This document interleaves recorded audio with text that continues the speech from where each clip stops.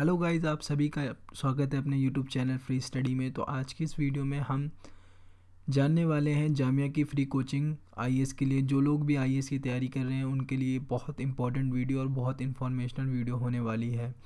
तो आज हम इस वीडियो में देखेंगे कि कौन कौन एलिजिबल होता है इस एग्ज़ाम को देने के लिए और कितनी सीटें होती हैं इसमें और कब नोटिफिकेशन आता है, क्या सिलेबस होता है, क्या पैटर्न होता है। तो वो सब हम इस वीडियो में कवर करने वाले हैं।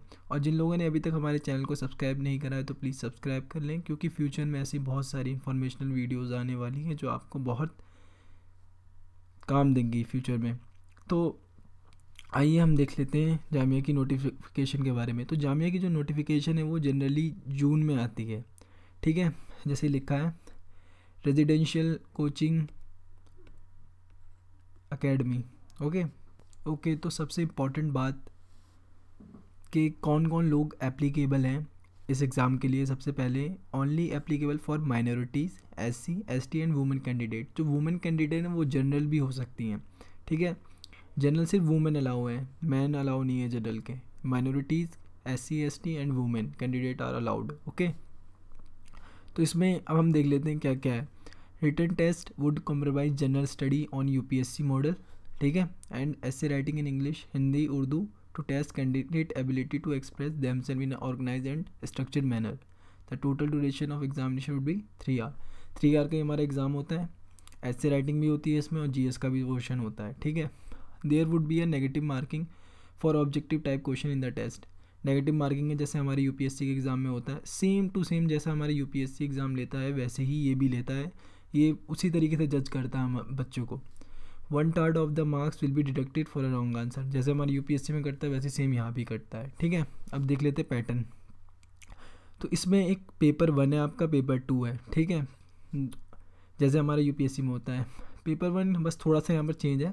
तो paper one would consist of objective type question ठीक है?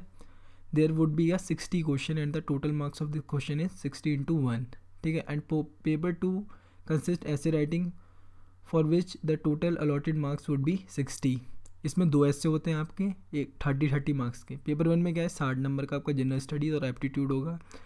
और इसमें आपका होगा, ऐसे में ये दो ऐसे होते हैं, तीस तीस नंबर के, ठीक है? जिसमें से सेक्शन भी होते हैं। एक सेक्शन में से आपको एक करना है। जैसे यूपीएससी में होता है सेम वैसे ही हमें।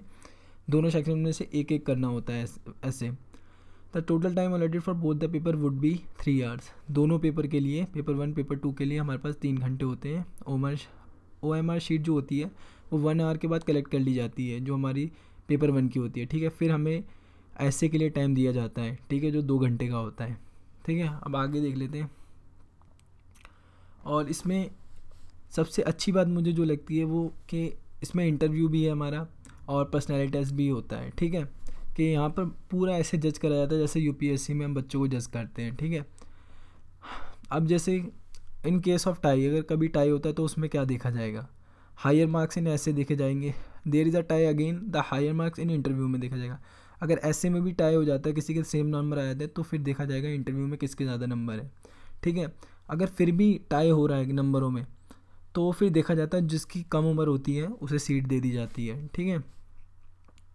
Only those candidate who have already completed their graduation need to apply वही लोग अप्लाई करें जो ऑलरेडी अपनी ग्रेजुएशन को कर चुके हैं, ठीक है? कोचिंग विल इंक्लूड कोचिंग में वो क्या क्या प्रोवाइड करेंगे हमें? एक तो जनरल स्टडीज़ की क्लास हो गई C SAT selected optional paper भी टेस्ट सीरीज़ आंसर एवेल्यूशन ऐसे राइटिंग प्रैक्टिस और यहाँ की जो फैकल्टी वो बहुत अच्छी होती है, क्योंकि हर साल यहाँ से कुछ ना कुछ तो रिज़ल्ट आता ही है अच्छा ही रिज़ल्ट आता है। तीस कभी तीस तीस में तो लगभग कर ही रहे हैं लोग सिलेक्शन हो ही रहा है यहाँ से। The academy will also conduct mock interview ये मोक इंटरव्यू कराए जाते हैं यहाँ पर। Who qualify the main examination जैसे होता है, जो लोग क्वालिफाई कर देते हैं मेंस तो उनका सीधा मोक इंटरव्यू कराया जाता है यहाँ पर। Test series prelims camps main will be held during जनवरी के टाइम मई सन दो में टेस्ट सीरीज़ होती है, ठीक है? टेस्ट सीरीज़ ये मैं आपको सन दो हज़ार एटीन वाला बता रहा हूँ। अभी सन दो की नोटिफिकेशन आएगी आपकी जून में, ठीक है? टेस्ट सीरीज़ में mains will be held September सन दो ये इन्होंने बता रखा है, ठीक है? Library library facility is provide twenty four hours की आपको लाइब्रेरी फैसिलिटी प्रोवाइड करी जाएगी। सिर्फ़ पढ़िए और सिलेक्शन करिए मतलब लाइए। ये स्कॉलरशिप जो है आपको बीस परसेंट एडमिटेड स्टूडेंट को मिलती है, जो दो हज़ार पर मंथ मिलती है, ठीक है? टोटल सीट कितनी होती है, हम ये देख लेते हैं। वन फिफ्टी यहाँ पर आपकी सीट सीट हैं और हॉस्टल की भी पूरी व्यवस्था होती है और आपको वहीं रहना होता है। ठीक है, वहीं रह के तैयारी करनी होती है।